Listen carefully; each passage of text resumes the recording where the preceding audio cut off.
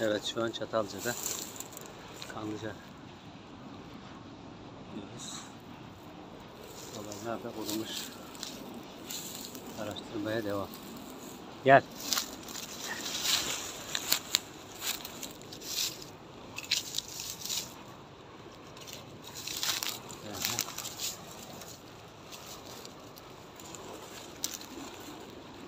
Araştırmaya devam.